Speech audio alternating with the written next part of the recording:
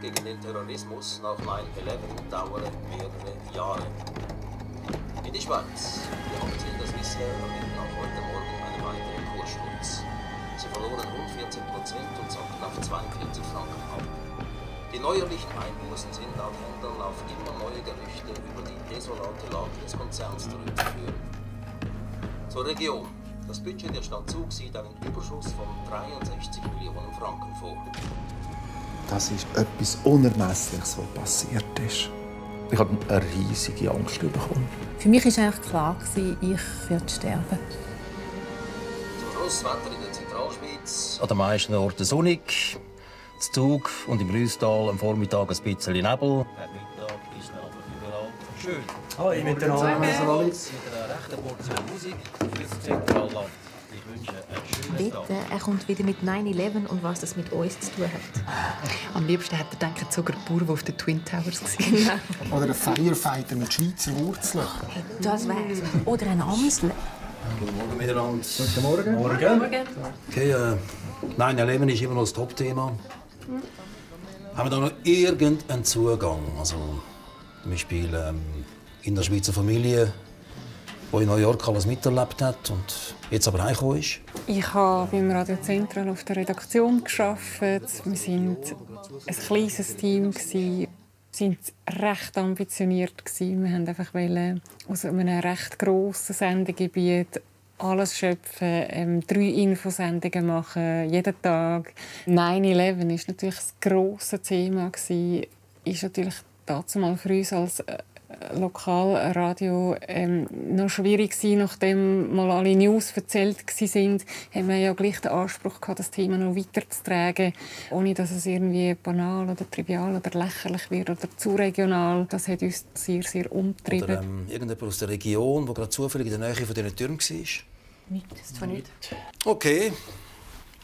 Die Welt dreht sich wieder mal an uns vorbei. Was läuft denn schon noch vor der Haustür? Äh, Kantonsratssitzung, unter anderem Beitritt zur Pädagogischen Hochschule Zentralschweiz.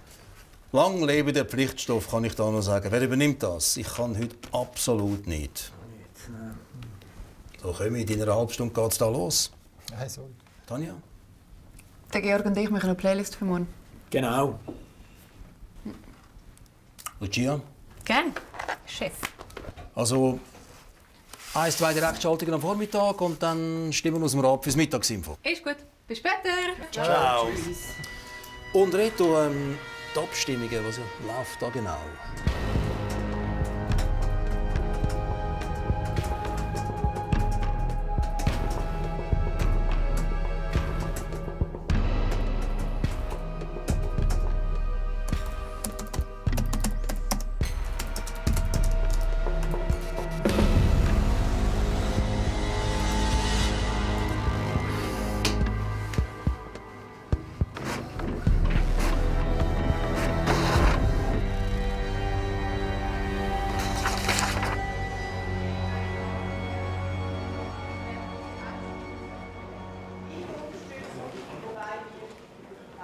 Zuger Polizszene war sehr gewesen. Starke Auseinandersetzungen natürlich aufgrund vom Steuerparadies, Rohstoffhandelsplatz. Das politische Klima war relativ hart, aber gleichzeitig war der menschliche Kontakt stark. Zum Beispiel als Kantonsrätinnen und Kantonsräte sind wir immer miteinander zu Mittagessen. Und dort war es eigentlich ein Tabu, dass man parteimäßig zusammensitzt. Ich bin meistens mit denen zusammengesessen, die am besten daraus sind über Schwingen. Und das sind ja eher die Konservativeren. gewesen. der vorliegenden Konstellation für den wirtschaftsstarken Kanton Zug. Wir haben nicht nur Kantonsrätinnen und Kantonsräte kennt, sondern sogar meistens noch die Familie, die Angehörigen von diesen Kantonsräten. Also es war ein sehr enges äh, Verhältnis zu diesen Parlamentariern.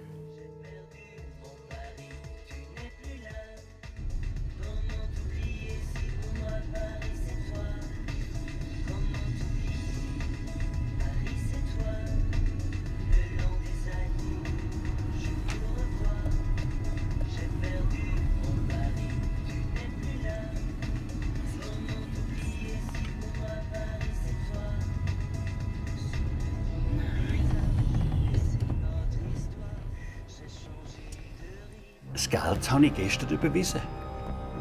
Können Sie kontrollieren? Nein, mit EI, nicht mit AI.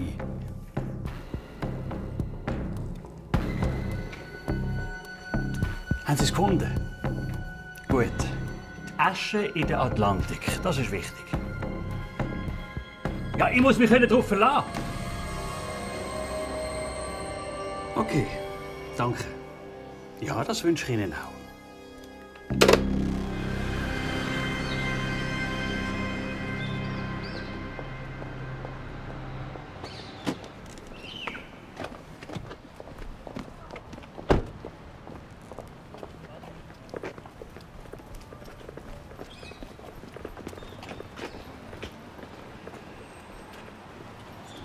Also ich war Standeswerbel vom Kanton Zug. Mädchen für alles, habe ich mir damit gesagt.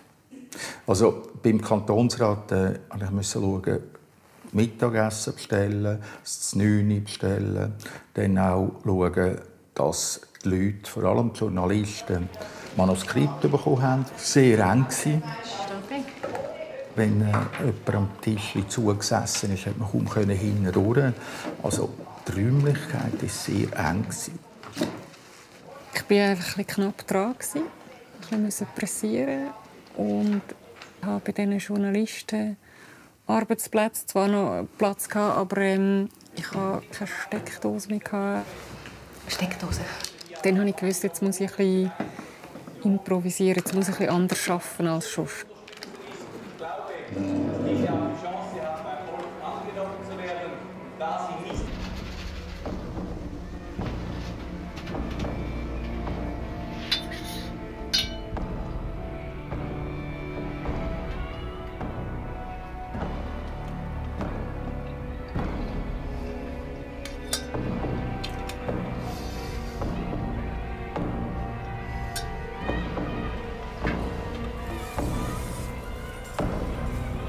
27. September hatten wir eigentlich den Kantonsratsausflug.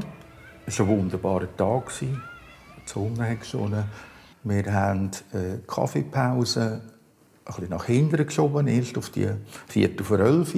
Und während dann um eins, halb zwei in die Villette auf Cham zu Mittagessen. Und Nachmittag wären wir äh, ins Kloster Frauental runter, äh, das Kloster anschauen. Und dort wären wir von der Äbtissin herzlich begrüßt worden. Also es wäre wirklich ein schöner Tag geworden. Wäre.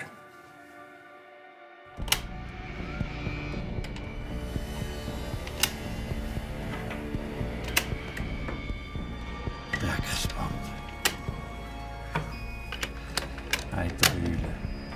Hure Kopfentanz. Arschloch.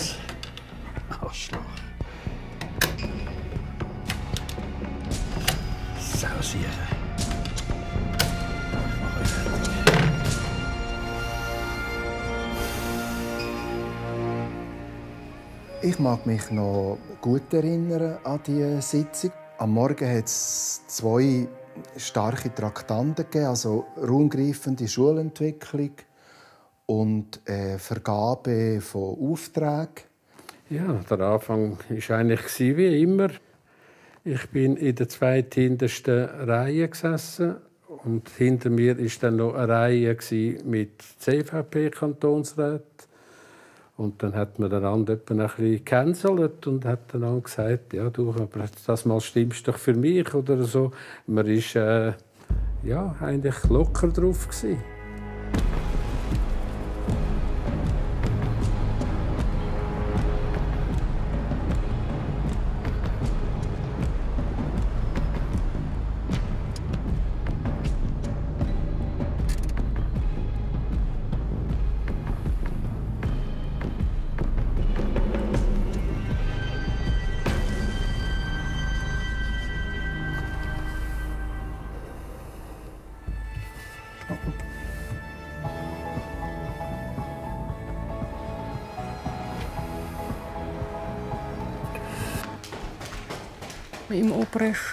Hatte es einfach so leere Büro für Medien, wo die Medien arbeiten konnten. Und ich hatte Anschlüsse, damit ich die, die Geräte laden konnte. Und habe dort oben ja, Töne geschnitten und telefoniert. Hey.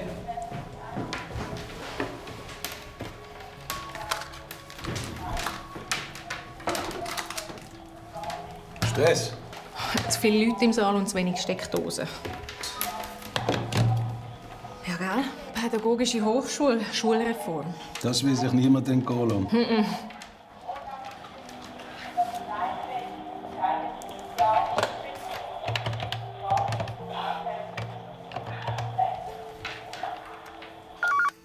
Ja, hallo? Hoi, das ist hier. Ich weiß soweit. Okay, gut. Ähm, kurze Schaltung, eine Frage, eine Antwort, okay? Ja, ist gut.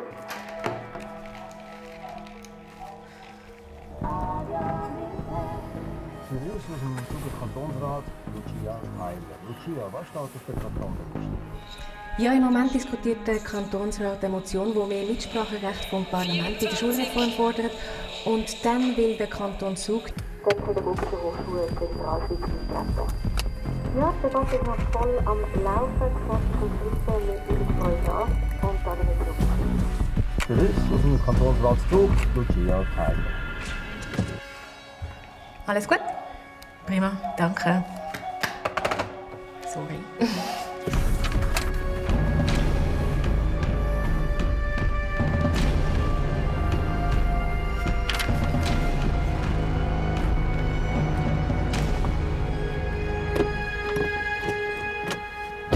Die letzten zwei Leute, die geredet haben, da mag ich mich noch erinnern, bevor dann äh, die Katastrophe passiert ist. Das ist als Kantonsrat Martin Döbeli und als Regierungsrat Jean-Paul Flachsmann. Und beide haben ein paar Minuten später nicht mehr gelebt.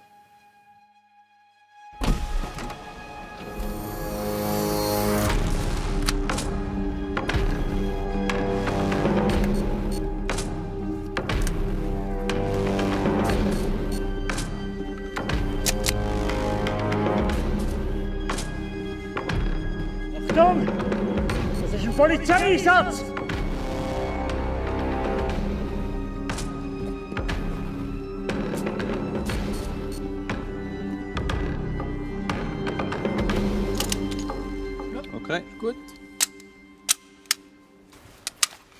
27. September 2001, dem Tag von der Vereidigung von unseren jungen Absolventen, sind wir mit in der Vorbereitung. Gewesen. In diesen Ausbildungen sind selbstverständlich unsere alle Einsatzmittel sind entweder entladen oder sind gar nicht auf Mann. Das heisst, einen Schutzwesten haben wir. Das ist das Einzige, was wir noch getragen haben. Aber unsere Waffen sind entladen. Gewesen. Den Pfefferspray haben wir nicht richtig dabei gehabt. Auszubildende daher! So, morgen ist schon ein grosser Tag, hä? Feierliche in Pflichtnahme. Haben Sie das Layout gemacht, Honecker? Richtig, Radl. Sehr gut. Ja, dann werden wir euren Familien etwas bieten, oder?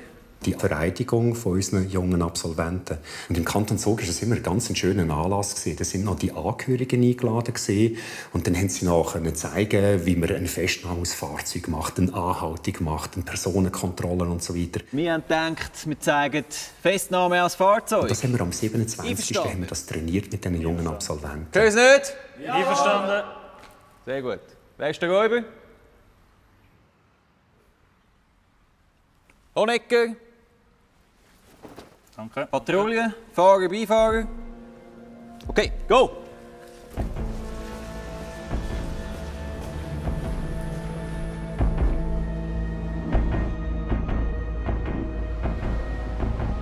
Was ich noch gut weiß, ist, dass ich noch Telefon haben müssen machen. Dort hat man noch nicht jeden einfach gerade so das Handy dabei gehabt. Das heisst, ich musste aus dem Kantonsrat raus, bin in unteren Stock ins Kommissionszimmer und habe noch für einen, für einen Vorstoß oder für einen Redner müssen telefonische Abklärungen machen. Wie viele Ja-Stimmen? 24. Danke. Wir hatten keine Besucher. gehabt. Das war ja im Nachhinein das grosse Glück. gewesen. Und irgendwann so um 20 ab 10, 5 vor halb 11 Uhr, ich musste etwas kopieren. Und unten, als ich nachher zu den Lifttüren aus bin, hat es das erste Mal geklopft.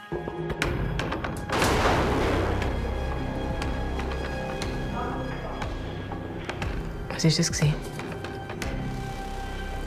Man hat nicht recht gewusst, was es ist. Ich habe hier gemeint, weil es nicht so eine interessante Sitzung war, man hat nicht so interessante Geschäfte gehabt, habe ich gedacht, das ist einem der Korpusdeckel runtergefallen. Ich war leicht irritiert, weil das ist etwa die vorgekommen. Aber dann hat es immer so das spitzbübische Lachen gegeben. Und das hat gefehlt. Und dann ist der Pultdeckel noch einmal runtergefallen. Und wieder hat niemand reagiert. Aber das ist doch etwas. Keine Ahnung. Ich bin zuerst überhaupt nicht rausgekommen, was das es geht. Ich habe einfach äh, die, die Töne gehört. Es sind einfach Töne, die ich gar nicht einordnen konnte. Ich bin gerade wieder recht gesessen, wo es dann irgendjemand geschrauen hat, sofort alle am Boden.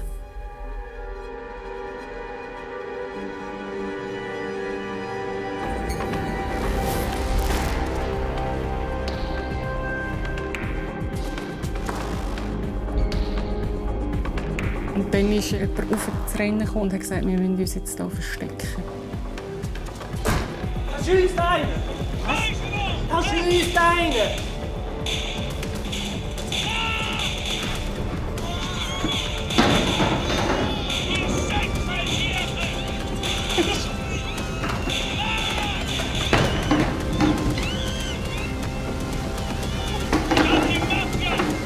Ich habe dann sofort am 11.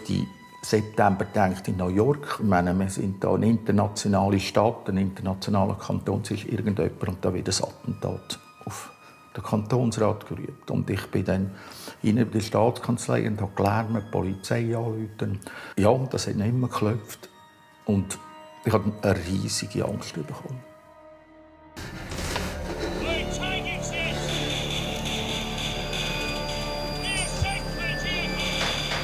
Bin dann in den Keller runter, aber ich musste sagen, nein, du darfst kein Feigling sein, jetzt gehst du rauf. Es hat immer noch geklopft. Und dann bin ich dann äh, sofort rauf. Und ja, das Schlimmste war dann Monika Hutter. Die ist vor der Tür, ist sie dort gelegen.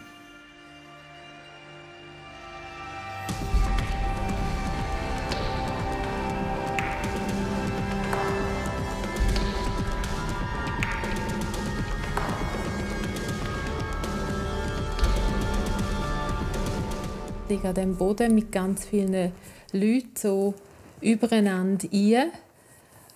Und meine Kollegin, die unter mir gelegen ist, hat dann gesagt, wir sterben alle, Manuela, wir sterben alle. Sie können nicht mehr schnaufen. Und weil ich ja gerade unter einem Fenster gelegen bin, bin ich aufgestanden und habe das Fenster aufgetan. Und habe dann eigentlich das erste Mal in den Raum hineingeschaut und habe gesehen, also einerseits äh, Stühle sind querbeet gelegen, alles umgestoßen, Menschen, meine Kolleginnen und Kollegen am Boden und habe an einen Mann hingeschaut, der ein paar wenige Meter von mir gestanden ist, der Nähe von der Eingangstüre, wo die Polizei drauf gestanden ist. Seine Verkleidung als Polizist die hat er nicht gemacht, um die Leute zu versäckeln. Da, da hat man sofort auf den zweiten Blick gesehen, dass es kein Polizist ist. Achtung, das ist ein Polizeieinsatz! Das war ein Rollenspiel. Das heisst, der hat die Rolle gespielt von dem, der jetzt Ordnung macht. Wo jetzt die Mafia, und wir alle sind Mafia für ihn, dass er die ausradieren er hat genug Munition bei sich, um uns alle umzubringen.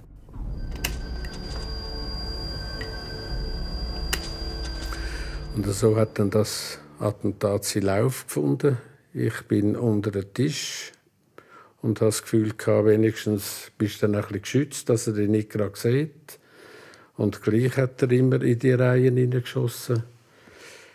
Mein Nachbar links der ist getroffen worden am Hals durch einen Schuss und ist dann tot zusammengefallen. Das war vor mir. Ich wollte ihn mal anschauen. Ja. ja. Wow, das ist krass. Mhm. Es hat viel. Wir hatten Herbstwanderung von der Schule. Und ich wollte eigentlich mitwählen gehen in den Kantonsrat. Und ja, der Papi hat dann gemeint, nein, heute kann ich sicher nicht mitkommen, sie haben Abstimmungen und alles. Aber ich könnte sicher ein anderes Mal mitkommen. Ja, wir sind mit dem Schiff heimgefahren über den Zugersee.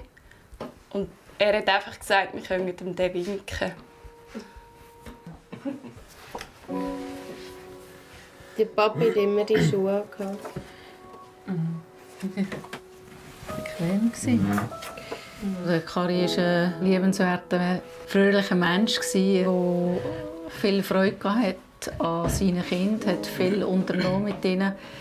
Wir konnten viele Sachen gemeinsam machen und ja, es war einfach ja, schön. Er war viel für uns da, auch wenn er noch viele andere Sachen gemacht hat. Aber ich glaube, für Kinder ist es am schönsten, wenn du das Gefühl hast, er hat nur Zeit für dich. Du nicht zweimal müssen fragen, ob wir spielen. ich mag mich nicht mehr wirklich an ihn erinnern, aber wenn ich so Fotos anschaue, er sieht einfach immer glücklich aus. Ja, und bei mir ist auch, ich bin gerade zwei geworden eigentlich und ich habe eigentlich ja, gar keine Erinnerungen mehr daran, ja, wie er war. Ja.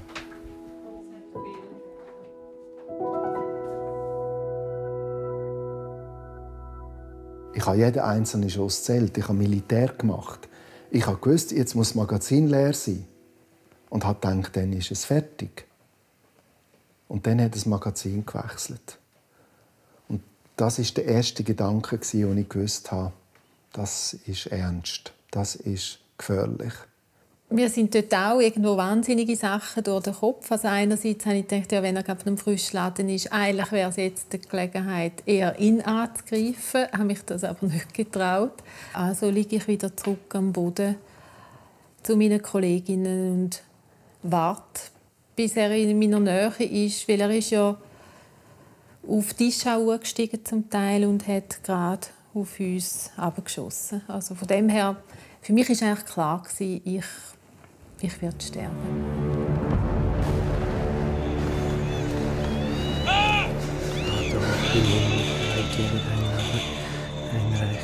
Dein Wille geschehe, wie so auf Erden, tägliches Brot.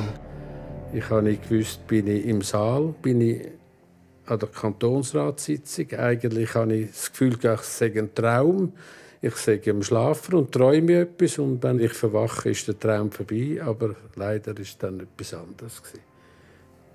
Es hat einen Moment gegeben, wo ich einen Schuss gespürt habe durch meine Haare durchgehen, wo ich dann gewusst habe, ich muss den Kopf ein zurückheben.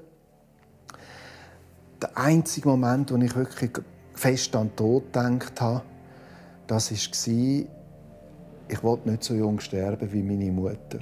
Weil meine Mutter ist gestorben mit 41 als ich unter dem Tisch gelegen bin, wollte ich mich schützen und habe dann meinen Aktenkoffer hinter mich angestellt, weil ich dachte, da sieht er mich nicht mehr.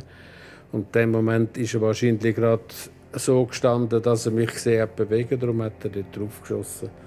Und dann hat es mich an der Hand verwünscht.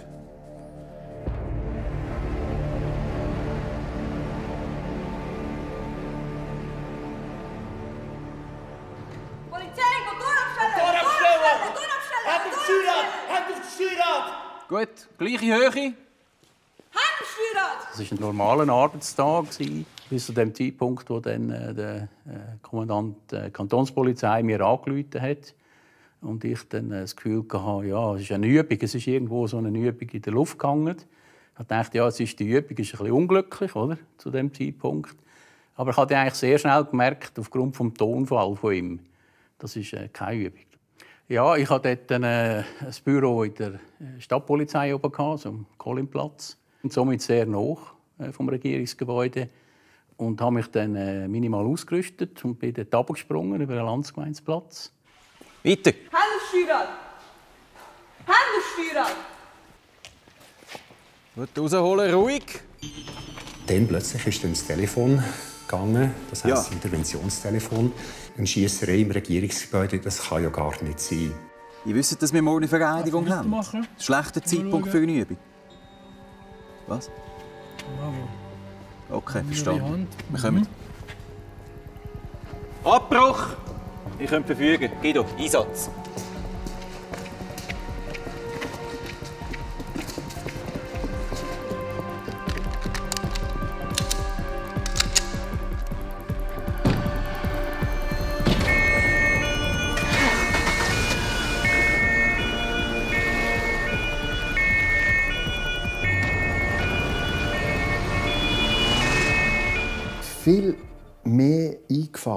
Schüsse sind mir seine Schrei.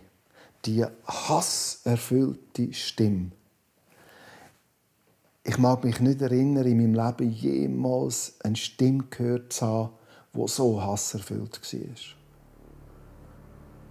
Und auch später im Schlaf hat mich nicht die Schüsse verfolgt, sondern seine Stimme. Ich habe dann einfach immer gehofft, ja, hoffentlich trifft er mich nicht. Darum bin ich eigentlich auch unter das Pult gekrochen und habe mich versucht, hinter dem Koffer zu verstecken, weil ich ja, nicht bereit war zum Sterben.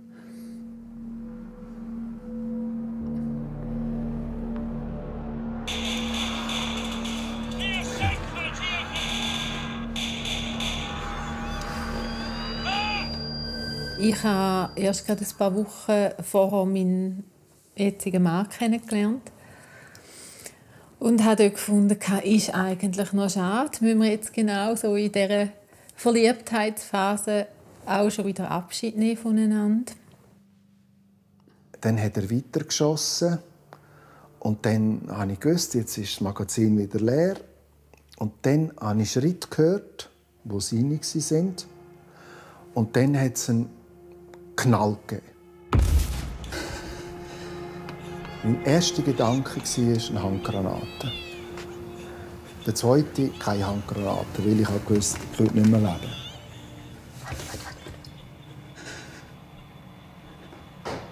Am Schluss habe ich gehört, wie das Sturmgewehr am Boden geht und dann ein Pistolenschuss. Und dann war mir klar, jetzt hat er sich selber umgebracht. Und es war mir klar, auf uns schießt er mit dem Sturmgewehr, mit der Waffe vom Soldat, sich selber verschießt er mit der Waffe vom Offizier, mit der Waffe von der wirklichen Ehre.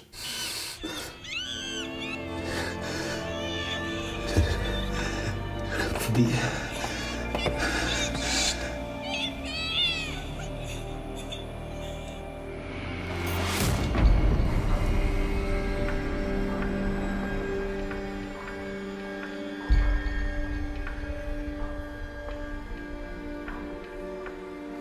Hin und das ist ja so etwas Schlimmes. Und Schreien und der Geschmack von Blut und von dieser Bombe, die er noch platzen hat, äh, das ist einem so in die Nase, einfach durch Mark und Bein gegangen. Und der Geschmack, wenn ich daran denke, jetzt gerade, ich, ich merke mir gerade. Und das war noch schlimm. Gewesen. Auf dem Weg dorthin, also schon im Stegenhaus, hat es natürlich schlimm ausgesehen. Und im Saal selber äh, noch schlimmer. Also, es hat, hat noch brennt auf dem Pult, es hat Rauch gehabt. Es war einfach ein totales Chaos. Gewesen. Und es ist eigentlich darum gegangen, wo ist der mögliche Täter? Oder? Ist der wieder weg? Ist der noch da? Schießt er plötzlich vielleicht? Die Interventionseinheit Luchs die habe ich gebraucht, weil wir müssen zuerst die Lage im Griff haben und nicht uns selber oder Dritte wieder gefährden. So schnell wie es gegangen ist, sind wir Richtung Regierungsgebäude bis an die Stege her, also unmittelbar vor den Stegen, bevor wir ins Regierungsgebäude hineingeht. Dort hatte ich dann das erste Mal Kontakt mit einem Vorgesetzten. Eine von diesen Informationen, Schlüsselinformationen für mich, ist dann Achtung, der Täter hat eine Polizeiuniform an. Ich habe ihm gesagt, Look, es hat Haufen Verletzte, es hat, äh, hat Tote. Es ist völlig unübersichtlich. Wir haben noch nicht wirklich eine Klarheit, ob es nur ein Täter ist. Jungs parat. Links parat. Rechts parat. Rücken Wir haben die parat. Türen aufgemacht. Ich bin ins Zentrum hineingegangen. Wir haben gesehen, rechts hat zum Beispiel noch die selber gemachte Bombe gehabt. Die hat immer noch gebrannt. Da hat es immer noch gerochen. Kontakt rechts. Kontakt rechts! Kontakt rechts! Was wir zu dem Zeitpunkt noch nicht gewusst haben, wir sind nicht die ersten Polizisten, die drinnen waren.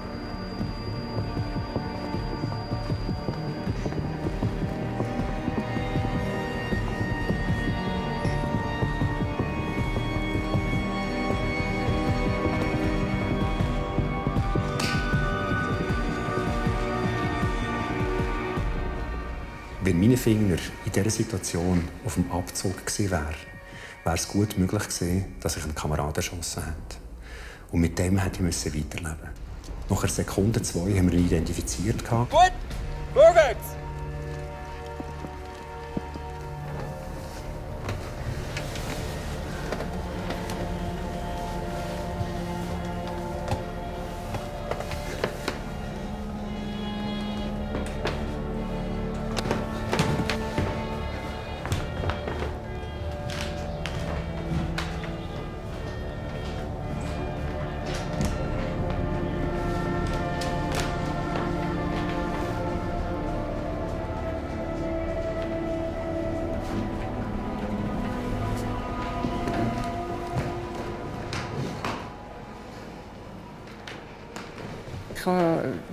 Realisiert, ich muss berichten. Also ich, ich muss mit dem jetzt auf den Sender, weil wir wissen dann nicht, was, was weiter ist und ob wir je da wieder rauskommen. Hey, was läuft da im Kantonsratssaal? Hoi, hast du Lucia? Du, es ist etwas passiert im Regierungsgebäude. Es ist seriös. Was ist Schüsserei? Nein, dann stimmt das wirklich. Ja. Können wir eine Live-Schaltung machen? Bist du sicher? Willst du wirklich live? Ja, los. Es gibt einen, einen Filmriss bei mir nach dem Pistolenschuss. Äh, weil, als ich wieder zu mir gekommen bin, auch zu merken, dass ich wieder zu mir gekommen bin, äh, bin ich durch den Gang gelaufen, durch meinen Gang. Und dann bin ja jemand hergekommen und hat gesagt, du Rolf, es ist vorbei. Und er keinen Wank da. Da habe ich gedacht, ja, der ist bewusstlos. Und dann der nächste, der Heinz Grütter, hat gesagt, du Heinz, kannst du aufstehen, es ist vorbei. Der hat auch keine Wank da. Ich dachte, ja, der ist auch bewusstlos. Und dann bin ich aus dem Saal raus. Ich habe nicht gewusst, dass hinter mir zwölf Tote sind oder 13 Tote mit dem Täter.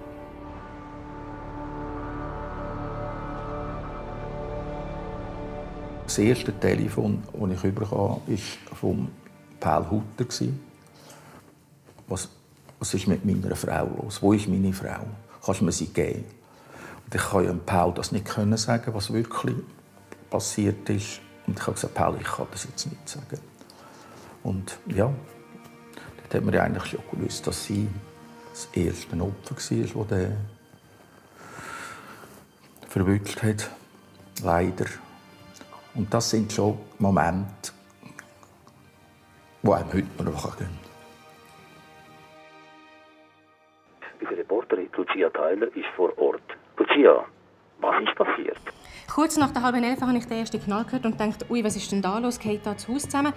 Dann habe ich gesehen, wie die Leute weggerannt sind und sich dann auch in den Zimmern verkrochen haben. Ich bin jetzt... Da auch hinter einem Tisch. Äh, die Polizei vor Ort gibt uns aber auch noch keine Entwarnung. Die Polizei ist also vor Ort. Hat man den Mann schon verwünscht? Das kann ich dir nicht sagen. Ich sehe einfach, wie Polizeiautos da ums Haus herumfahren, aber ähm, ob man den Täter schon gefasst hat, das kann ich dir nicht sagen. Kontakt links. Kontakt links. Kontakt links. Eine Hand hat er unter dem Körper. Gehabt. Die zweite Hand hat er wie zwischen den Beinen gehabt. Und dann hat es plötzlich geheißen, Achtung, Handgranate. Hätte ja tatsächlich können sein Oder ich hatte die Hände nicht gesehen. Und wenn ich einfach vorziehe und er tatsächlich eine Handgranate in der Hand hatte, wäre es gefährlich gewesen. Ich, AHV-Nummer 95 44 321, erkläre, im Falle einer Verletzung will ich keine medizinische Hilfe, werde keine bezahlen und habe keine Versicherung. Wo bist denn du? Und, und wo sind die anderen? Bist du überhaupt in Sicherheit? Ja, jetzt ist es gerade so, dass die Regierungsrätin Ruth Schwärzmann da raufgekommen ist, ins Zimmer gekommen ist und gefragt hat, wo sind meine Leute. Also offenbar geht jetzt da die Suche los. Also die Suche nach dem Mann, oder was?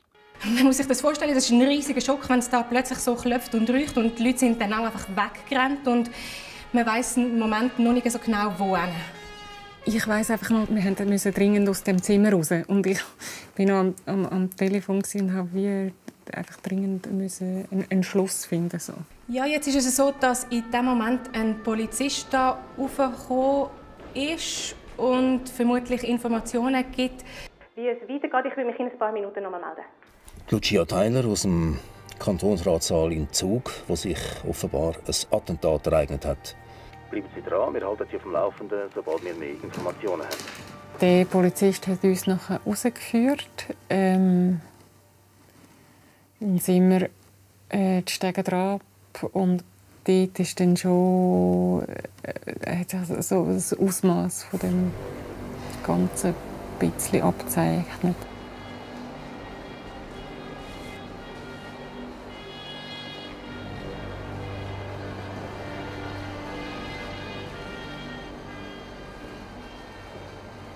Jetzt ist plötzlich eine Meldung reingekommen. Achtung, ein zweiter Täter. Nicht verstanden, wiederholen bitte. Achtung, ein zweiter Täter auf dem Dach oben. Verstanden. Zusammenkommen! Also, wir haben vielleicht noch einen zweiten Attentäter auf dem Dach. Den holen wir uns.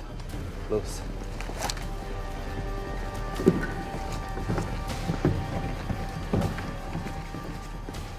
Und dann sind wir dann in der schnellen Verschiebung bis unter das Dach hochgegangen. Und dort war noch eine schmale Treppe.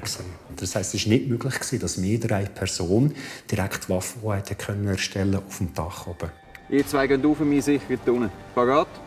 Check. Check, check. Go!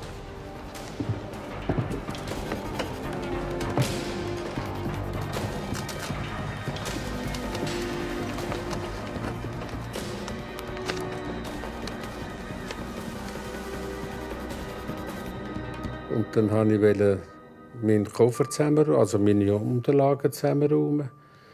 Und musste beide Hände brauchen dazu. Das ist dann aber nicht gegangen, weil die Schmerzen so groß geworden sind in der Hand und es blutet hat. Dann habe ich das halt sein lassen, habe das liegen lassen und bin dann raus. Und das ist wirklich ein trauriger Anblick. Und dann ist ein Fräulein gekommen, wo mir ein weißes Tüchlein gegeben hat.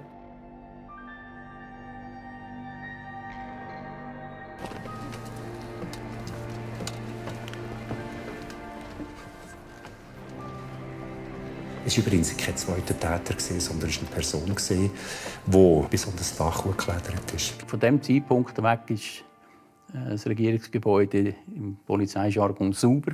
Alles gut. Sie sind in Sicherheit. Danke. So, Jungs, bringen wir ihn runter. Es sind Kollegen auf mich zugekommen, die gesagt haben, da sitzt unser Kollege schwer verletzt, kannst du helfen? Und ich habe dann schnell gesehen, er hat schon sehr ein verschossenes Gesicht gehabt. Er ist schwer verletzt und hat gesagt, wir schauen ihn auf den Stuhl und mit dem Stuhl ähm, ins Feuerwehrauto rein. Als ich die Stege durchab bin, ist auf einem Stuhl ein Mann gehockt und über dem Gesicht, über dem Kopf ein, ein Tuch. Und meine Fraktionskollegin Manuela Weichelt ist neben ihm gestanden. Das war mir logisch. Ich wusste, dass sie Krankenschwesterausbildung hatte. Trotz seiner schweren Verletzungen war er voll ansprechbar. kann ihm immer die Hand geben und sagen, jetzt fahren wir bei dieser Kurve durch, jetzt fahren wir hier durch und jetzt sind wir dann gerade beim Kantonsspital.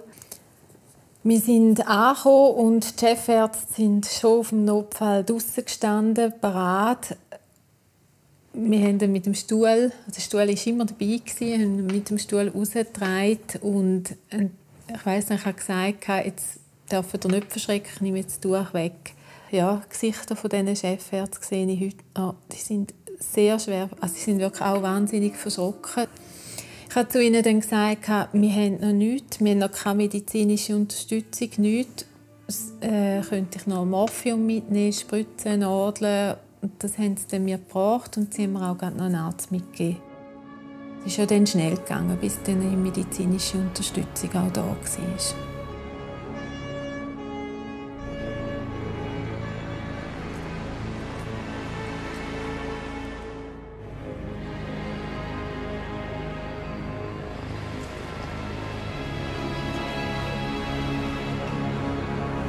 dann nochmal Live-Schaltungen gemacht und erinnere mich aber, dass ich die als sehr viel anspruchsvoller empfunden als die von drinnen raus, weil ich schon einfach das Ausmaß erahnt habe und weil ich auch realisiert habe, ich, ähm, ich, ich will berichten, ich will es nicht beschönigen, aber ich will äh, zugleich ähm, genug respektvoll sein gegenüber möglichen Opfern und den Angehörigen.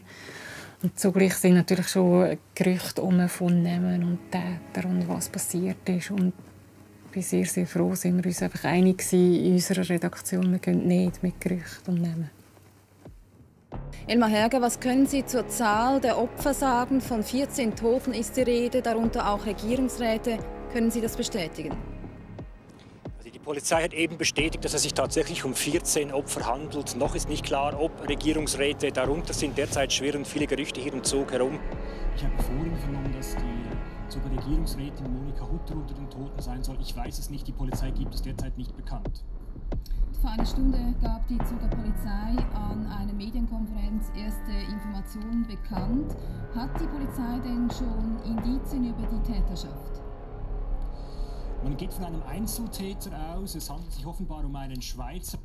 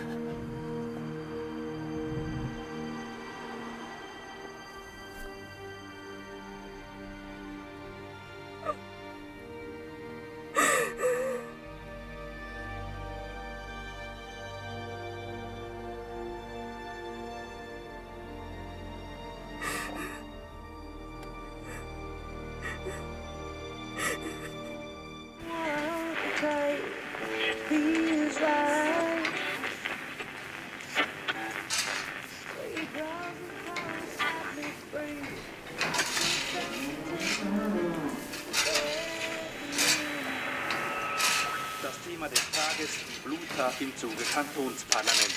Der Amokläufer war mit einem Sturmgewehr der Schweizer Armee und einer Pistole bewaffnet.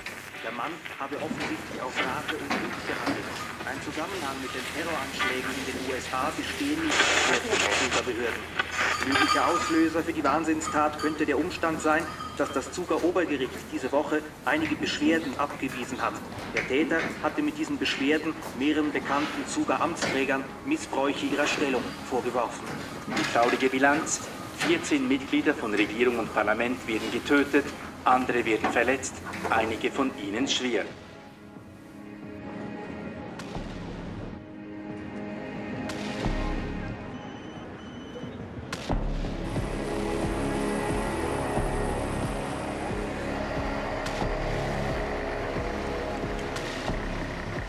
Es hat nicht ein Opfer gegeben, der ist blindlings dort reingegangen und hat einfach drauf losgeknallt Der hat nicht einen Mann gesucht oder nicht eine Frau, sondern der hat einfach ein Drama bewirken. Die erste Salve, habe ich den Eindruck, ist gerade bei mir durchgegangen. Zwei hinter mir sind tot und daheim. Der Kantonsrat, der vor mir gesessen ist, ist auch tot. Und mich hat es eben nur gestreift.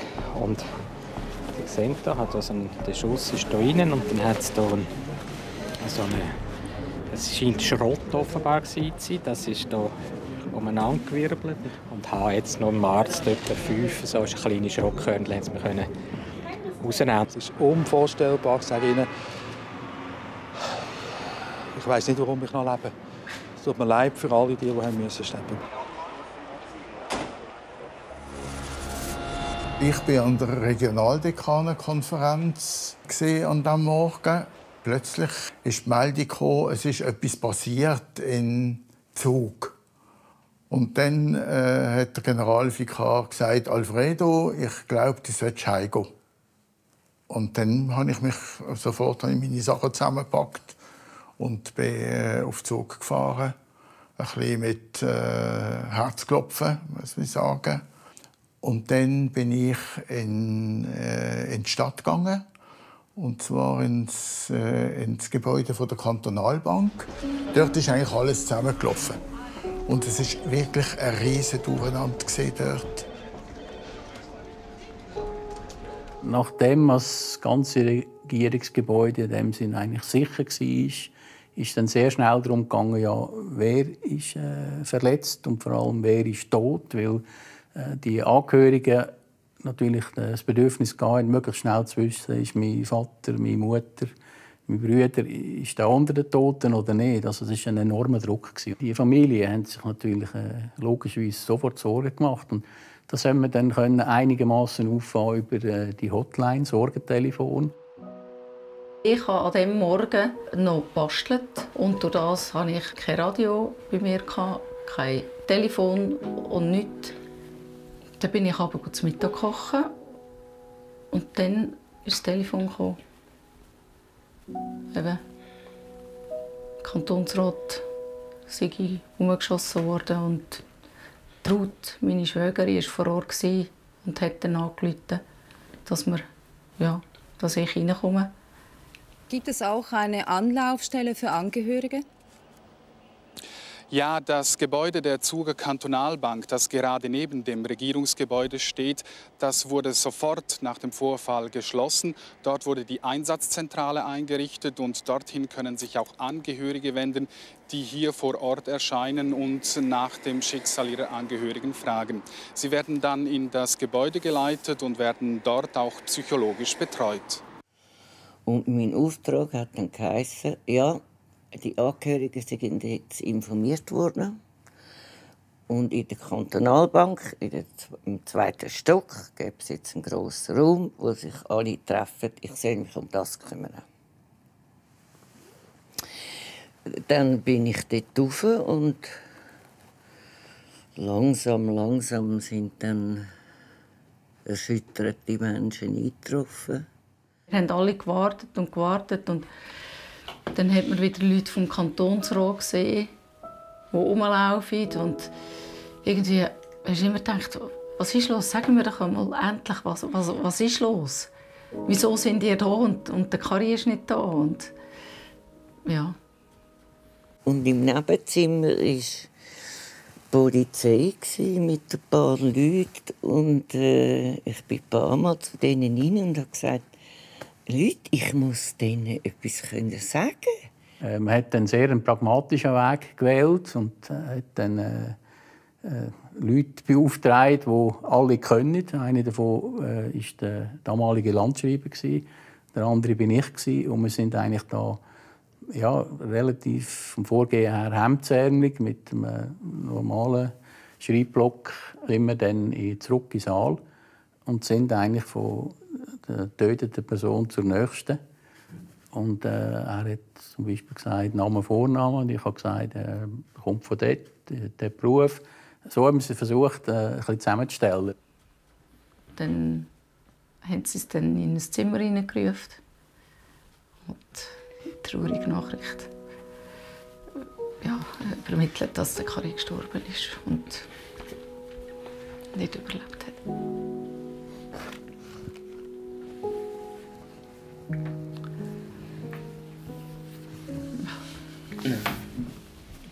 Beim heutigen Amok-Anschlag auf das Regierungsgebäude sind Herr Peter Bosshardt, Regierungsrat, Herr Jean-Paul Flachsmann, Regierungsrat und Frau Regierungsrätin Monika Hutter zu Tode gekommen. Auf der Seite des Parlaments beklagen wir den Tod des Kantonsratspräsidenten Herbert Arnett, des Kantonsrats Döbeli Martin, Gretener Karl, Grüter Heinz, Häusler Konrad, Heimgartner Dorli, Iten Erich, Nussbaumer Kurt, Nussbaumer Rolf, Langenegger Kätti und Wiesmer Willi. Die haben zum Teil losgeschrien, also einfach rausgebrillt. Äh, die, die, sind verstummt, die sind jeder in seiner Verzweiflung heimgerannt oder hat geschaut, was er machen kann. Und dann war die Sache fertig. So furchtbar schnell, wie es kam, ist es gegangen. Ich nehme die Gelegenheit wahr, allen Angehörigen das tief empfundene Beileid der Restregierung auszusprechen. Ja, und dann bin ich dann wieder heim und das Gefühl, ich, ich weiß nicht, ich, ich habe einfach gar nicht mehr gefühlt irgendwie. Ich, ich bin total am Boden und ich habe da zugefahren und und dann ja, bin ich in die Schlucht rauf und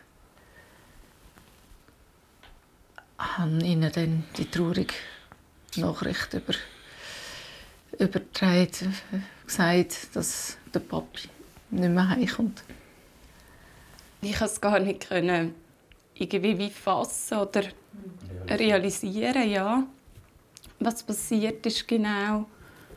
Und ja, du verstehst es halt das Kind nicht.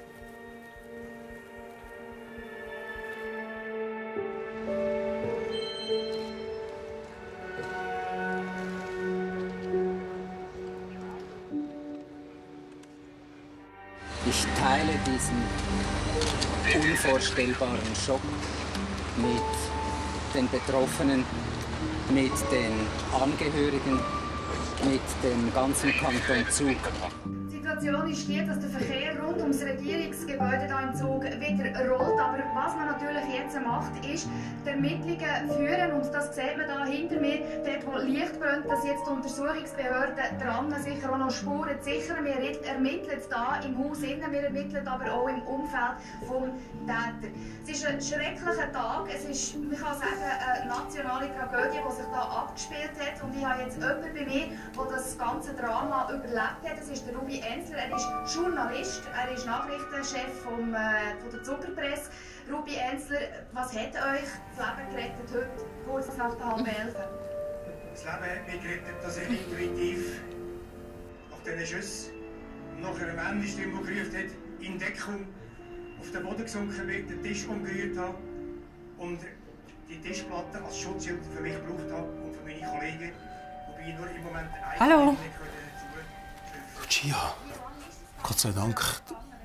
Ist für dich alles gut? Mhm. Wenn wir etwas für dich tun können, dann, dann sag's bitte, ja, Lucia.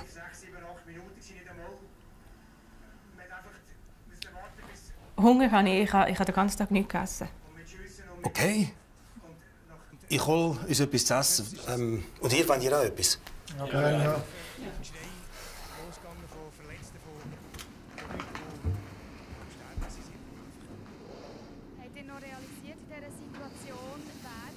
Sitz doch an.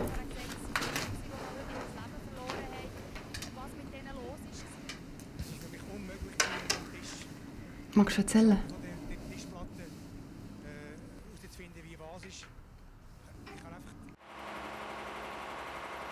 In der Nähe vom Parlamentsgebäude hat die Polizei ein Auto gefunden, wo offenbar ein Amokschütz gehört hat. Drin hat es weitere Waffen gehabt. Bezüglich dem Tatmotiv haben wir eine Art wie einen Bekennerbrief am Tatort gefunden. Er ist betitelt mit Tag des Zornes für die Zuger Mafia. Er schreibt darin, äh, dass der Tag des Zornes für die Zuger Mafia heute stattgefunden habe. Er sagt, dass die Zuger Justiz äh, viele Verfahren verschleppt, verdeckt habe. Es geht darum, dass er die verschiedenen Chauffeure der äh, Zugerland Verkehrsbetriebe des Alkoholkonsums bezichtigt. Er hat entsprechende Klagen deponiert und er ist überall abgeblitzt und das wird wohl der Grund sein, weshalb er zu dieser Amoktat gegangen ist.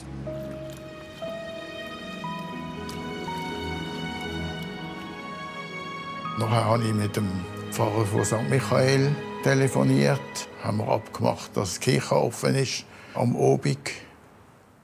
Das ist dann auch gleich im Radio äh, gekommen, dass man sich treffen kann. Und dann ist natürlich Kirchenbums voll gesehen, St. Oswald. Und man hat sich dann dort getroffen. Einfach ganz schlichte Gebet gemacht. Dann sind die Leute auf den Landsgemeindeplatz gegangen.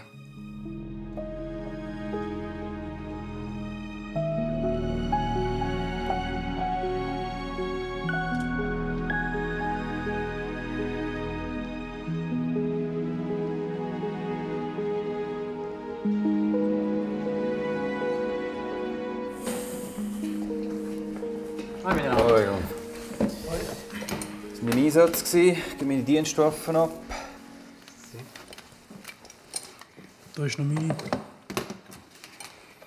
Wir haben keinen einzigen Schuss abgegeben. Ah ja. Gehen wir noch eins ziehen? Lieber uns anders mal. Macht's gut. Ja. Merci. Schön. Plötzlich hat es geheißen, und zwar von jemandem, der im Kantonsratssaal innen war, hat es plötzlich geheißen, die Polizei hat den Täter erschossen. Und da ja ich ja Zentrum hatte und ich ja wirklich im Zentrum inne bin, ist das im Prinzip auf mich zurückgekommen. Der Kommandant Urs Hürlimann, er ist dann runtergekommen und gesagt, du, wo sind die Waffen wo? Und hat gesagt, Urs, es ist gut, wir haben die Waffen abgegeben, die sind kriminaltechnische Dienste, die sind auf der Seite. Er ist sichtlich erleichtert, Jetzt sehen wir das dann tatsächlich dort so gemacht, wie wir es trainiert haben. Und es hat sich eigentlich gezeigt, trainiere, wie du kämpfst. Also wir hatten keine einzige Schussabgabe. Gehabt. Äh, aber äh, wenn es so gewesen wäre, oder, dann muss ich sagen, ja, dann wäre es auch im Rahmen der Gesetzgebung verhältnismäßig gewesen. Also Gefahrenabwehr, klassische. Ähm, ich muss auch sagen, äh, auch ich persönlich, oder, wenn ich angegriffen worden wäre in einer so einer Situation, wie es dann war, ja, wäre das für mich auch ein Mittel gewesen. Und darum haben wir eben auch die professionelle Truppe schon dabei gehabt und die weiteren Kräfte zugezogen, dass wir dort noch taktisch richtig äh, und vor allem verhältnismäßig und rechtlich korrekt handelt. Guten Morgen. Ich wollte jetzt endlich mal wissen, wie es mit meiner Entschädigung aussieht.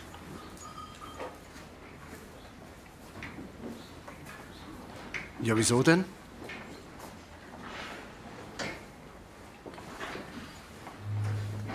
Ihr nehmt uns noch das letzte Hemd. Da müsst ihr euch ja nicht wundern, wenn mal einer ausrastet. Ja, wie der Typ in Zug halt. Genau der meine ich. Er hat angefangen und ich mache fertig. Aufräumen muss man mit euch. Schafsäckel.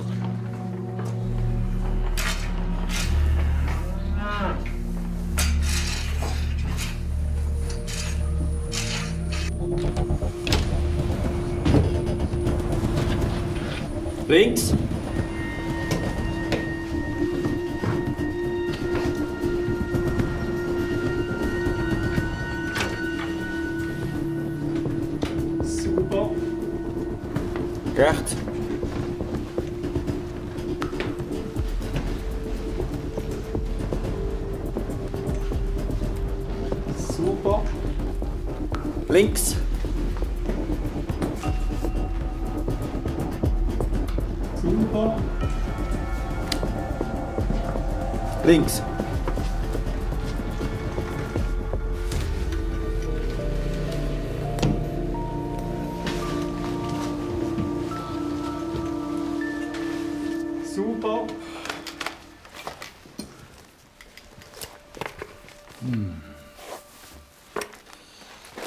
Sauber, die Kippe kann reinkommen.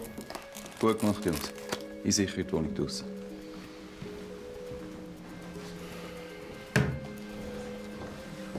Danke, Jungs. Also, Salut. Ah, schau mal da.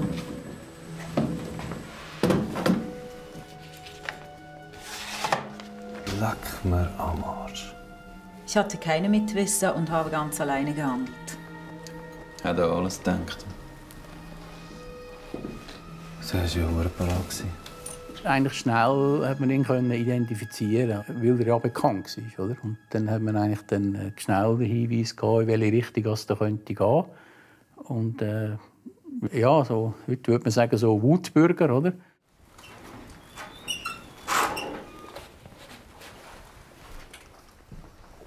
Schau mal, was ich im Kasten gefunden habe. Bei dir? In den letzten Tagen hat er sich vor allem mit Waffen, Amokläufen, Bestattungsunternehmen beschäftigt und Pornos geschaut. Dann ist ja alles normal in dem Fall. Der Brief ist für seine Mutter und das Testament hat er schon im August geschrieben. Ja? Wo? Okay, wir sind in 20 Minuten dort. Ich muss wieder los mit den Jungs. Was schon wieder? Ja, Welt ist aber durchgegangen.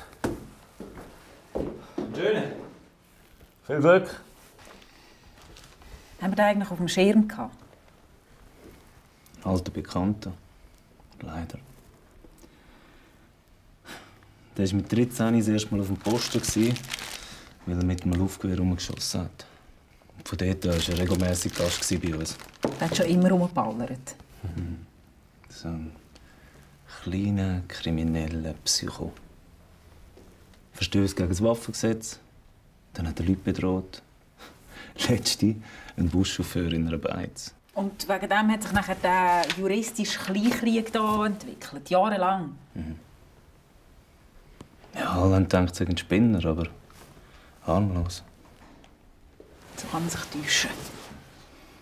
Genau das schießt an. Was? Genau das schießt mich an, unserem Beruf. Dass man so Idioten nicht rausziehen kann.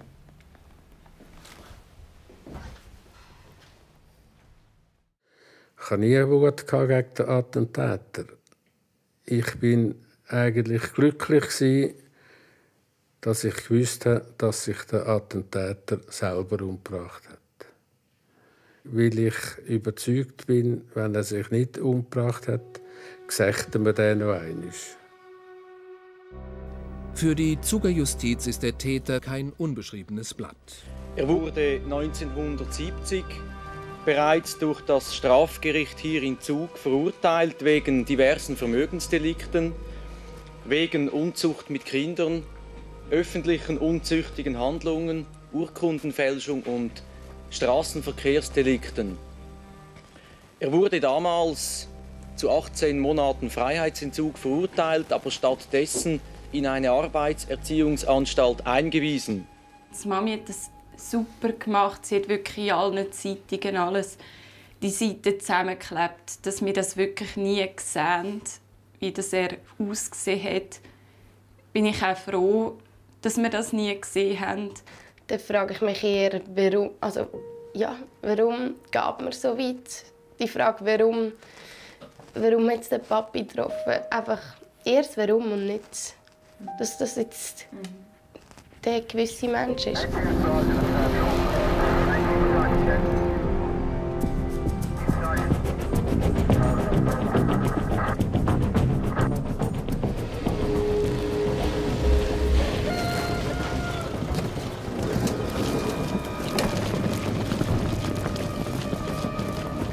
Polizei! Hand auf! Langsam abstellen, ich will eure Hände sehen. Hand auf, langsam, drei, vier Schritte vorkommen.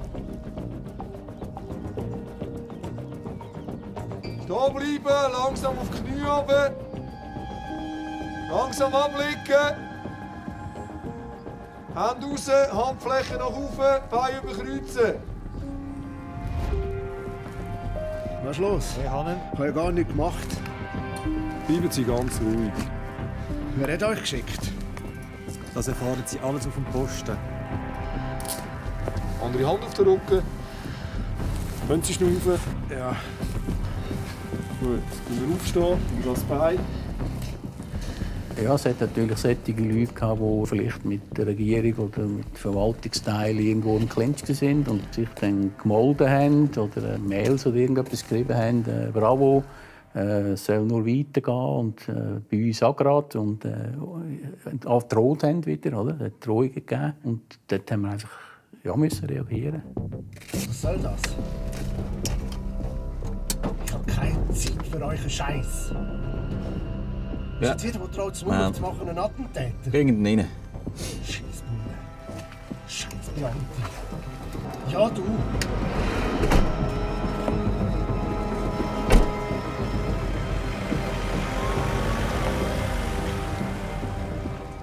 Es gibt eine einzige politische Frage, die gestellt worden ist durch das Attentat, abgesehen von Sicherheitsmaßnahmen.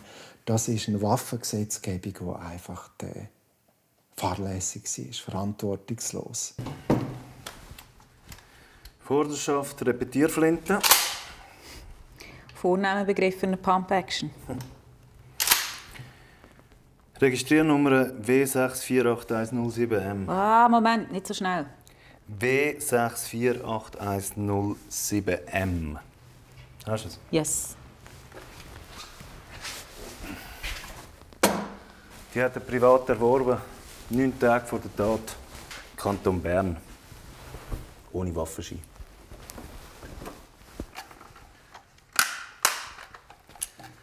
Dann haben wir SIG PE90. Das neue Sturmgewehr, hä?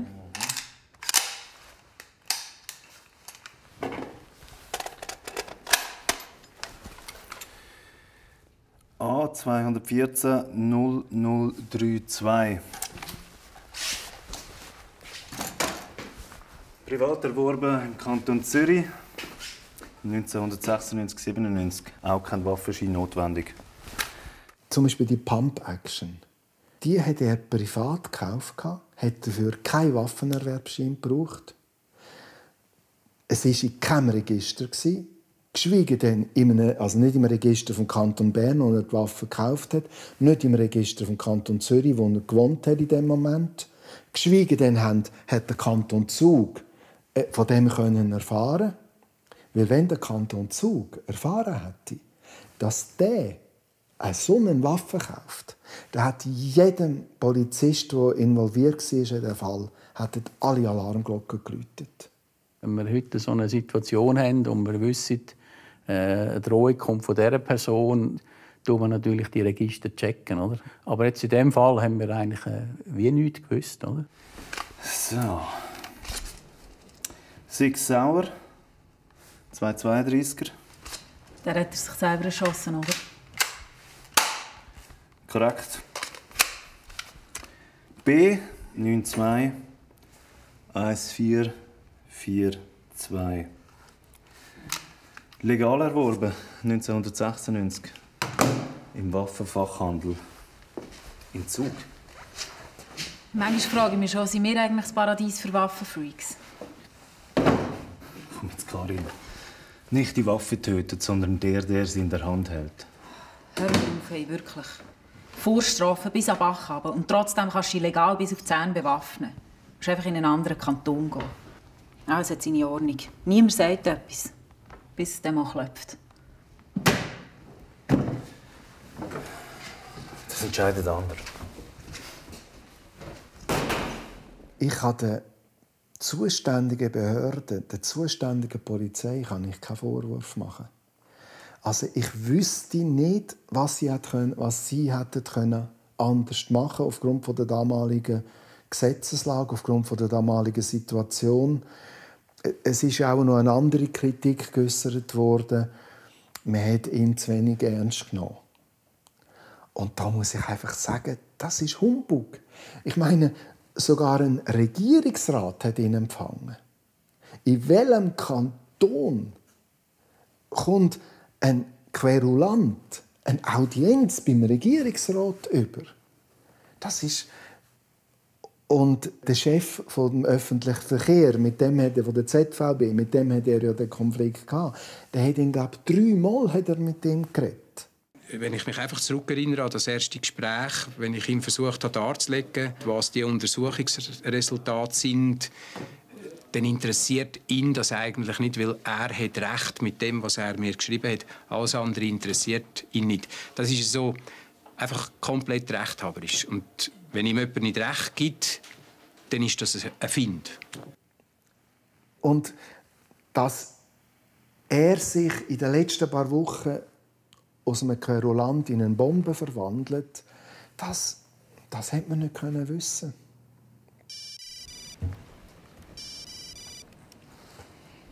Ja, hallo? Ja? Ah, das habe ich gar nicht gemerkt. Ah, das Portemonnaie auch. Mhm. Ja, äh, ja, ich komme vorbei. Aber nicht mehr heute. Ähm, morgen, wenn es okay ist. Ja. Danke. Ihnen auch.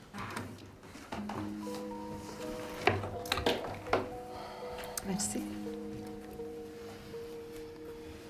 Ist alles okay? Ja, es war die Polizei. Sie haben meinen Mantel und mein Portemonnaie im Kantonsratssaal gefunden. Das habe ich gar nicht gemerkt. Hauptsache, es ist nur. Unser Chef hat ein Debriefing organisiert. Und ich tue es Dort haben wir einfach noch mal auf den Tag zurückgeschaut. Ich glaube, wir haben wie alle nicht können einfach heimgehen. Also in dieser Aufgelöstheit und mit diesen vielen Fragen. Und ich glaube, das ist so ein bisschen darum gegangen, uns so ein bisschen zu sammeln dort und so klein, klein, klein runterzukommen, sofern das überhaupt ist möglich war. Wir haben uns, glaube ich, auch wie gefragt, ob wir jetzt das richtig gemacht haben, so ähm, zu berichten, das so zu machen. Ja. Ich finde es wichtig, dass wir noch einen Moment zusammen sein können. Nach dem Tag. Es ist vielleicht noch ein bisschen früh für eine Sendekritik.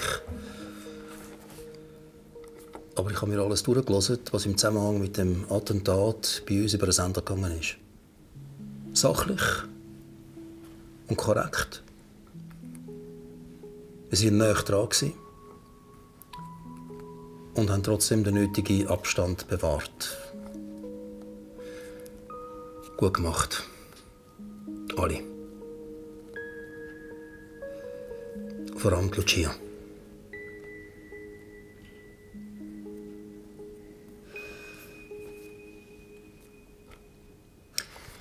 Greifen zu, einen guten.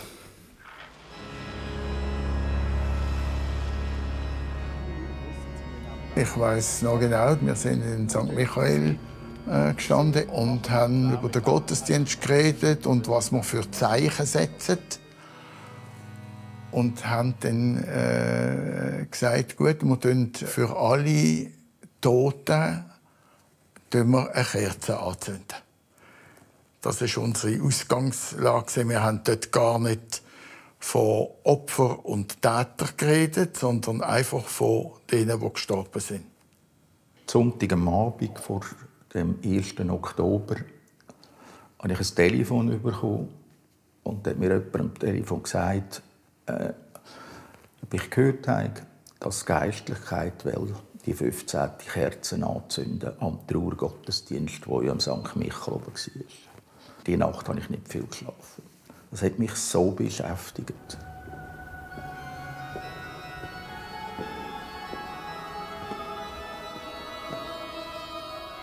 Man stellt die Verstorbenen unter das Licht von Gott. Die Verstorbenen tut man Gott übergeben. Gott vorzuschreiben, wenn man jetzt sein Licht, seine Barmherzigkeit, seine Vergebung schenkt, das ist nicht unsere Sache. Wir glauben, dass Gott dann schon weiß, was er jetzt, äh, wie, er, wie er weitergeht. Und das wissen wir ja nicht und können es nicht wissen und sollen, es auch, sollen ja auch nicht urteilen. Also äh, ist das wirklich das Licht von Gott, wo allen gehört. Der Robi Biesig und Ruth Schwerz, wir sind ja in Zackeristei, äh, reden mit der Geistlichkeit, dass die 15 Kerzen wirklich nicht anzünden sollen. Und sie sind dann retour und ja, und beide natürlich gepriegt und sie haben dann nicht so große Hoffnung gehabt. Und dann habe ich zum Robi gesagt, du Robi, komm, wir gehen noch einmal in die Sakristei. Und wir sind dann in die Sakristei rauf und äh, ich habe einfach gesagt, Logit, bitte, bitte zündet die Kerzen nicht an. Ich habe das können, ich habe das können nachvollziehen, dass, dass das schwierig, dass das schwierig ist. Ähm, habe aber von, meiner, von meinem Glauben her habe ich äh, das gleich nicht ganz äh, loslassen, denn gerade der braucht ja das Licht von Gott. Äh, äh ein Täter braucht das ganz besonders äh, und ähm, ihn hier jetzt äh, auszuschließen, das hat mich persönlich dunkt wie eine Verurteilung und das steht mir jetzt äh, gegenüber einem Verstorbenen einfach nicht zu. Ich habe dazu mal auch sofort geschrieben, bitte macht das nicht. Das verletzt so meine Gefühle und wahrscheinlich auch noch ganz viele Gefühle von anderen. In der Sakristei ist der äh, Regierungsrat Bissig noch einmal gekommen und hat gesagt, er garantiere wirklich für nichts, wenn wir die 15. Kerzen anzünden. Und dann sind wir eigentlich rausgegangen und äh, sind äh, eingezogen, ohne zu wissen, wie wir es jetzt machen.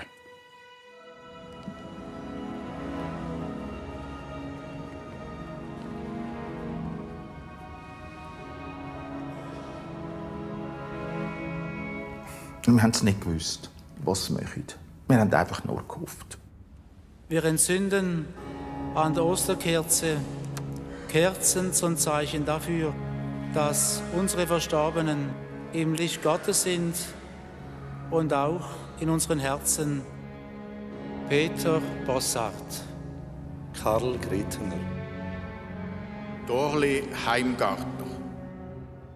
Ich habe gespürt, dass eine Wahnsinnsspannung um ist. Ich habe schwer gehofft, dass die 15. Kerze nicht angezündet ist obwohl ich den theologischen Hintergedanken schon verstanden habe. In dem Moment, wo ein Mensch tot ist, gibt es nur noch einen Richter, das ist Gott.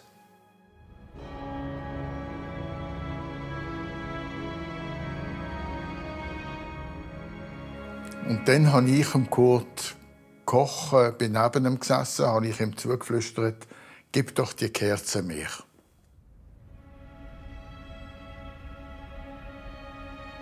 Wir müssen Abschied nehmen von 14 Menschen, die jäh aus ihrem Leben und aus unserem Lebenskreis gerissen worden sind. Ich muss ganz ehrlich sagen, das hat einen Tumult gegeben. Da bin ich jetzt überzogen. Das hat niemand können verstehen. Und ich habe mir vorgenommen, wenn das wirklich so wäre, ich glaube ich, wäre das Mikrofon gegangen. Das hätte man nicht dürfen auf euch sitzen. Diese große Sünde zu vergeben und eine Kerze auch dafür anzuzünden. Ich spüre es, es ist zu früh. Aber ich übergebe eine Kerze dem Regionaldekan. Dir, lieber Alfredo, du wirst in deinem pastoral weisen Herzen spüren, wann es möglich ist.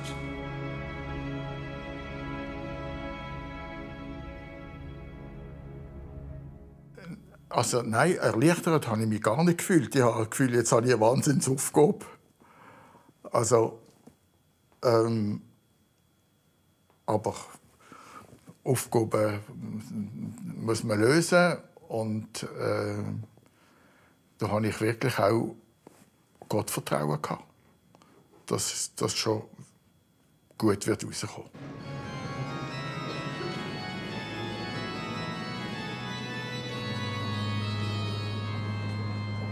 Nachher habe ich dann gleich noch eine grosse Enttäuschung erlebt. Beim Mittagessen, wo ich auch müssen Platz einweisen musste, kommt der Bischof zu laufen. Und ich bin zu einem Mann und habe gesagt, Herr Bischof, ganz, ganz herzlichen Dank. Aber zur Antwort habe ich bekommen, schon gut, aber normal lässt sich Kille nicht reinreden. Und das könnt ihr euch vorstellen, das war ein Tiefschlag, den ich ja, auch heute noch manchmal Mühe habe. Dann haben wir das Gefühl, gehabt, wir müssen mindestens ein Jahr warten. Haben aber gedacht, also nein, also der Jahrestag, der geht sicher nicht. Und darum haben wir dann ein anderes Datum gesucht mit dem Allerseelentag, wo wir beten für alle Verstorbenen.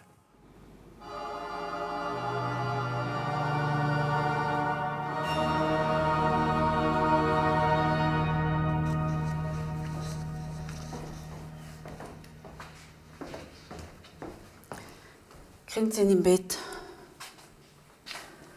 Hast du noch lang? Dann wir doch schon. Ich bin da noch ein bisschen hinten drin. Es sind auch wahnsinnig viele Traktaten morgen. Morgen haben sie Sporttag. Mhm. Soll ich den Tisch jetzt bestellen am Samstag im Anklin? Ja, mach doch.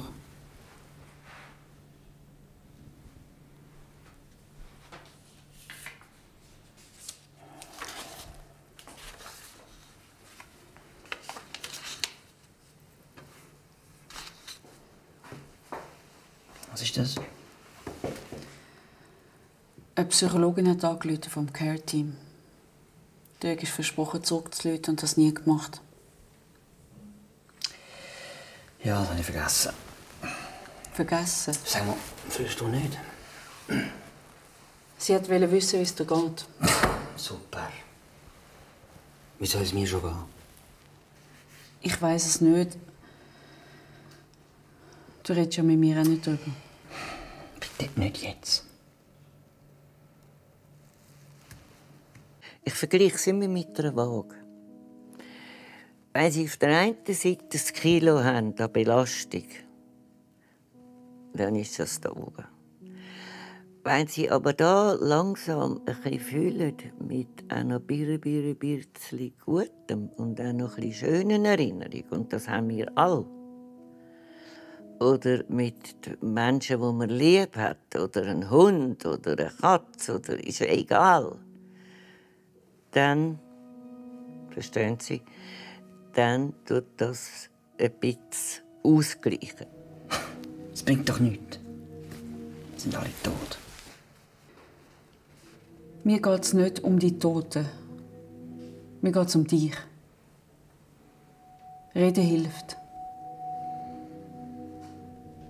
Schau, wenn ein Skispringer stürzt, dann muss er sofort wieder auf die Schanze, sonst springt er nie mehr. Das ist doch jetzt ein blöder Vergleich. Nein, wieso?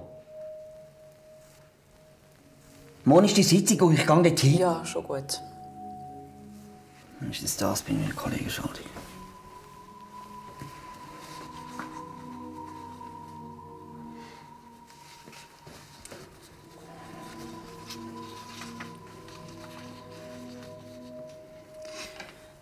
Es ist deine Entscheidung. Ich bin da.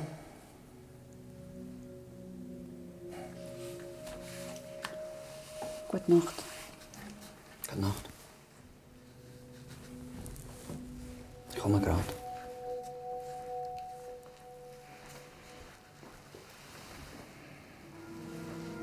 Ein Trauma ändert das Leben. Ob klein, ob gross. Und es gibt Schädigungen und Einschränkungen, die bleiben zurück. Da können wir jetzt auf den Kopf stehen. Ich bin häufig nachher am Morgen aufgestanden, habe versucht, zum Morgen zu machen. Ich habe noch vielleicht Butter rausgenommen aus dem Kühlschrank, ein Scheibenbrot abgeschnitten, habe dann aber nicht mehr gewusst, dass ich zum Morgen essen Ich hatte auch total Schwierigkeiten, gehabt, Termine überhaupt einzuhalten. Ich hatte kein Zeitgefühl mehr. Ich habe dann versucht, wieder zur Arbeit zu gehen. Aber äh, keinen einzigen Satz mehr fehlerfrei schreiben. Es ist wie nicht mehr gegangen. Ich konnte bis am Sonntag nicht über den Fall reden. Ich habe es einfach nicht, ich habe es nicht fertig gebracht zu reden. Es war wie, wie eine Blockade. Ich kann vielleicht auch nicht reden, aber ich kann auch nicht reden. Und ich bin einfach blockiert. Es ist so toll, das müssen wir unbedingt wieder mal machen. Auf jeden Fall. Was? Oh, Volltreffer!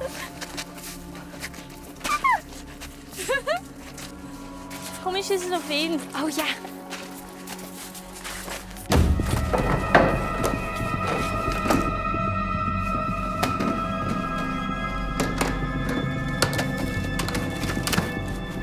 Wenn ich in den Tram gefahren bin und die Kippfenster im Tram, wenn jemand, äh, wo vielleicht Kalk hat oder so gezogen, so ein Kippfenster zugetatscht hat, das hat mich an einen Schuss erinnert.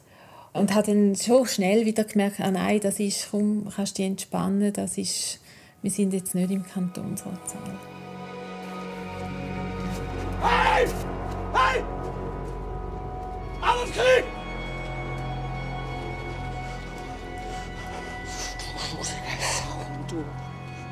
Aber nicht sein! Der Mensch ist eigentlich ausgelegt von Geburt her, dass er sich sicher fühlt. Und dass er darum eigentlich im besten Fall auch ein Grundvertrauen hat.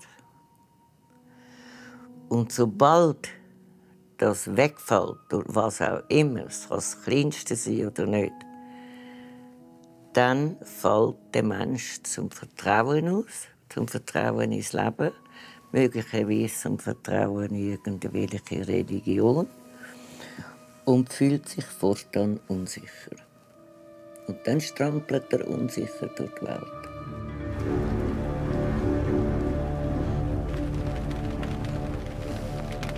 Hallo? Wir brauchen Hilfe. Mein Mann, er bedroht jemanden mit einer Waffe. Er hat nichts getrunken. Er war im Kantonssaal, als das Attentat passiert ist.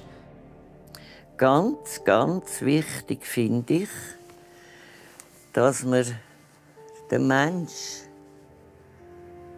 in seiner Verletzung wahrnimmt. In seiner medizinischen Verletzung, in seiner Integrität und in seiner seelischen Verletzung. Ent Entschuldigung für, für den Schneeball. Können wir gehen? Komm wir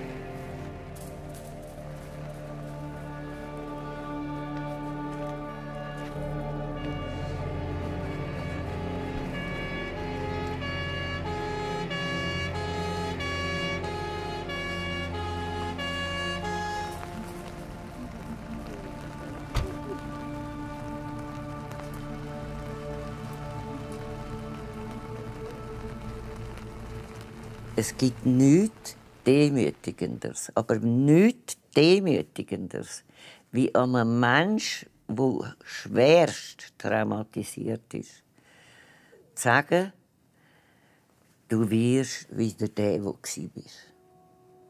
Es gibt kein anderes Leben. Es gibt nur ein neues Leben. Das Alte ist vorbei definitiv vorbei. Ja, ich konnte natürlich zwei Jahre nicht arbeiten, weil ich nicht mehr auf dem Beruf arbeiten weil es einfach nicht mehr möglich war. Ich hatte keine Kraft, ich hatte kein Gefühl.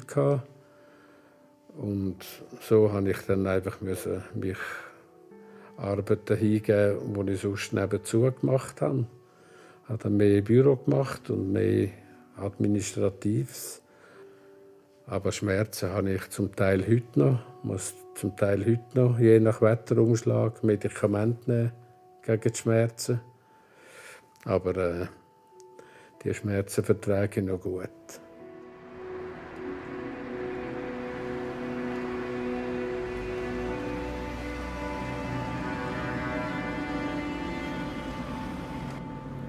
Also viele haben sich das nicht vorstellen, den Saal zu besuchen. Ich musste das sehen. Das war auch ein Teil meiner Verarbeitung. Als ich in den Saal kam, ich meine, sofort hat man gesehen, Boden geschwärzt und all die Einschüsse und so. Ich bin dann zuallererst dort hingegangen, wo ich gelegen bin. Ich habe zuerst gesehen, dass meine Überlegung, den Platz zu wechseln, richtig war. Dass die Wände äh, völlig durchschossen waren.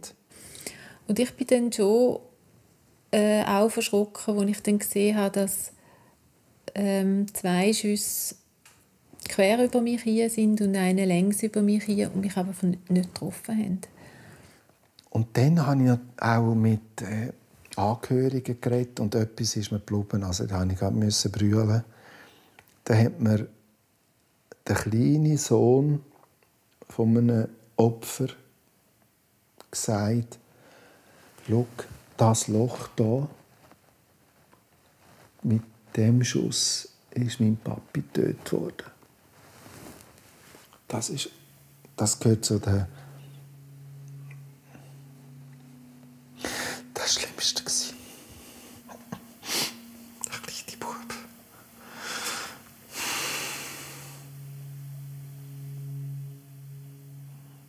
Ich weiss, ich habe mit jemandem geredet, wo wir den Saal sind anschauen. Aber ich könnte nicht sagen, mit wem das, das war. Ja. Ich war dort sehr interessiert, aber jetzt würde mich das nicht mehr, also jetzt würde ich es nicht mehr sehen. Ich will auch jetzt irgendwie nicht in diesen Raum hinein. Ja, es war noch schwierig, irgendwie, diesen Schritt dort zu machen. Aber äh, auf eine Art auch ja, ist man dann noch mal drin und man hat es gesehen, also auch äh, eine weitere Verarbeitung für äh, das Ganze. Ja zu fassen und, und anzunehmen, wie es war.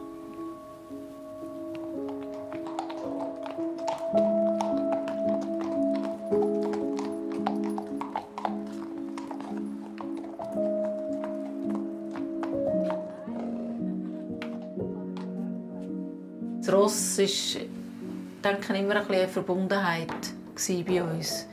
Auch schon mit dem Kari war das. Und Darum haben wir gesagt, das ist eine Zukunft, wo wir weiterarbeiten können. Und ja, was wir in diesen 20 Jahren jetzt erschaffen haben, wir haben vieles können weiterbauen, wo er auch noch mit dran war. Dadurch bin ich auch ein bisschen stolz, dass ich das so weit weiterführen konnte.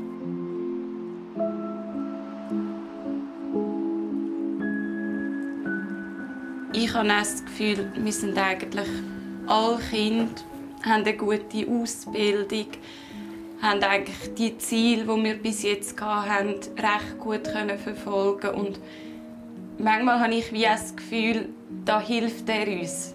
Einfach so die Unterstützung, die er wie von irgendwo uns gleich gibt.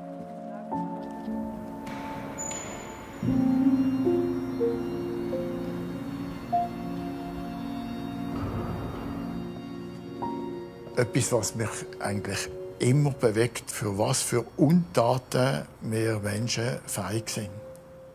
Das ist für mich eigentlich unbegrifflich,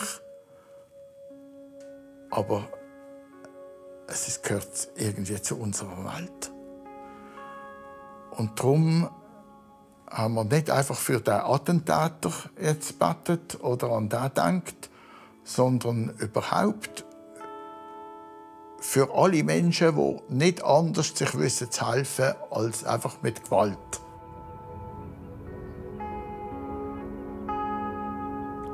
Ich musste wenig Medikamente nehmen, ganz am Anfang mal zum ein paar Nächte um zu schlafen. Ich auch nicht zum Alkohol greifen.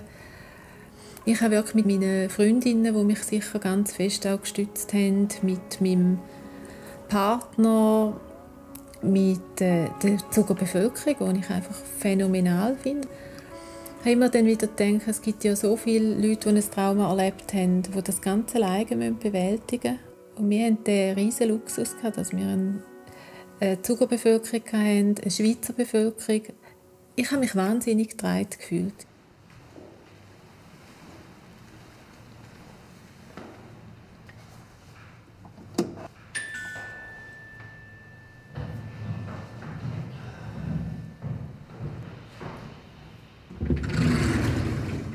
Grüezi. Äh, ich bin Lucia Tyler. Ich komme meine Sachen abholen. Frau Tyler, genau. Ähm, Moment schnell. Wie geht's Ihnen, Frau Taylor? Gut, danke. Also,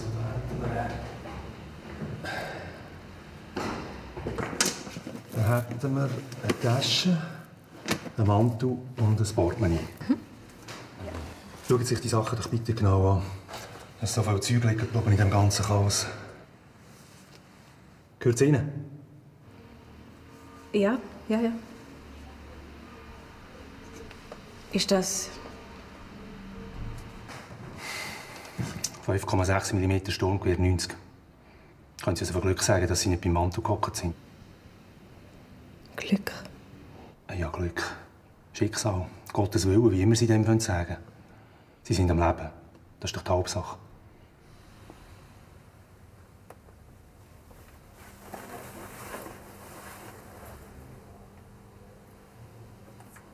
Einen schönen Tag? Wünsche ich Ihnen auch.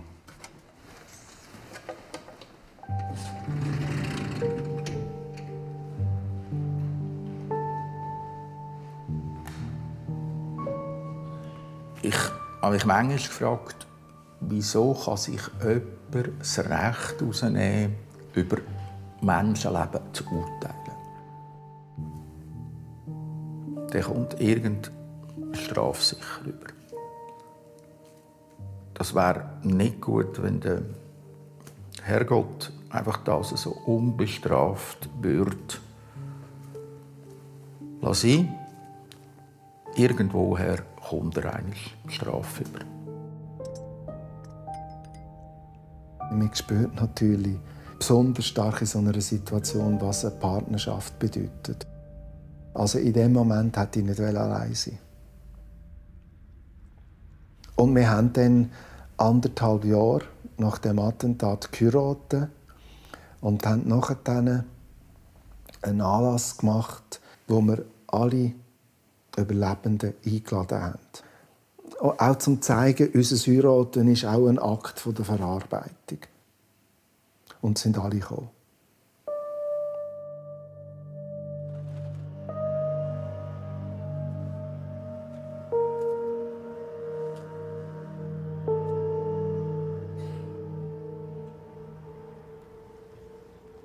War natürlich eine harte Geschichte. Es hat, es hat einem ein bisschen härter gemacht auf gewisse Sachen. Es hat einem vielleicht gewisse Sachen bisschen abgestumpft. Aber zum Teil ist man auch dünnhäutiger geworden. Vor allem das Nachtwind ist schlimm. Und ganz vergessen tut man das nie.